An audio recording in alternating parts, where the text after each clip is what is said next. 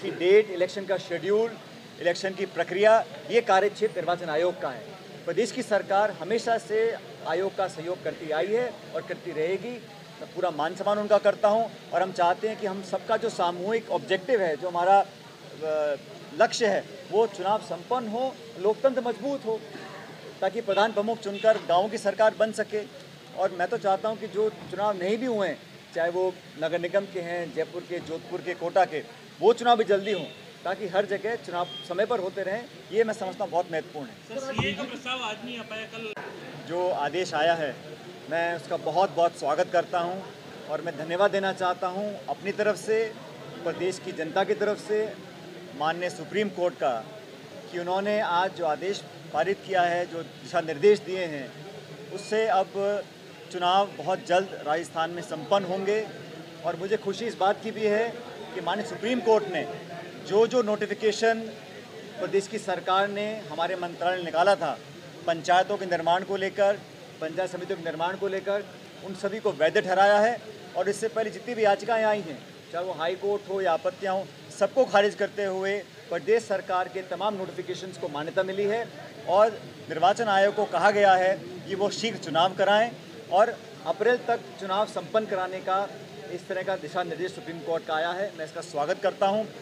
लोकतंत्र में चुनाव होने चाहिए और ग्रामीण परिप्रेक्ष्य में रहने वाले लोगों के लिए ये चुनाव अत्यंत महत्वपूर्ण है। हम शुरू से कहते आए हैं कि चुनाव समय पर हो, लेकिन क्योंकि हाई कोर्ट में चुनौती दी गई, मामला सुप्रीम कोर्ट में पहुँचा, लेकिन आज मैं समझता हूँ जीत लोकतंत्र की हुई है। जीत हम सब लोगों की जो चुनाव कराना चाहते हैं माननीय निर्वाचन आयोग जो एक संवैधानिक संस्था है, उसका मैं पूरा सम्मान करता हूँ और पहले की तरह आज मैं ये कहना चाहता हूँ कि प्रदेश की सरकार निर्वाचन आयोग का पूरा सहयोग करने के लिए तैयार है, पूरी मदद करने के लिए तैयार है। जो भी संसाधन उनको चाहिए, जिला परिषद और पंचायत समिति का चुनाव कराने के लिए, वो सब उपलब्ध कराने के लिए हम पहले भी तत्पर थे और आज भी तैयार हैं। हम लोगों ने जो चुनाव हो रहे हैं, आप जानते हैं सरपंचों के चुनाव चल रहे हैं और एक तरह का क्योंकि मामला कोर्ट में चला गया था तो विलंब होने की आशंका थी। लेकिन अब सारी बातों पर विराम रखकर सुप्रीम कोर्ट ने बड़ा स्पष्ट कर दिया है। यही स्पष्टता 8 जनवरी को भी दी गई थी जब हाई कोर्ट के स्टे ऑर्डर को खारिज किया गया था। लेकिन आज जब तमाम बातों को सुनने के बाद सुप्रीम कोर्ट ने ये कहा है कि चुनाव अप्रैल तक संपन्न कराने हैं।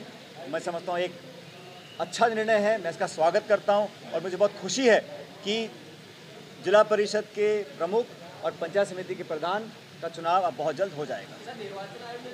अखिल भारतीय कांग्रेस कमेटी ने और वर्किंग कमेटी ने ये निर्णय लिया है कि जहाँ जहाँ पर कांग्रेस की सरकारें हैं, वहाँ पर हम विधानसभा में एक रेजोल्यूशन लेकर आएँगे, जो सीए का कानून पारित हुआ है सदन में, लोकसभा में, विधानसभा लोकसभा और राज्यसभा में, वो कानून बन गया है संख्या बल के आधार पर। लेकिन जन विरोध बहुत ज़्यादा है, पूरे देश में नौजवान लोग, हर प्रदेश में पूरे मुल्क में आज आवाज़ उठा रहे हैं इस कानून के खिलाफ में।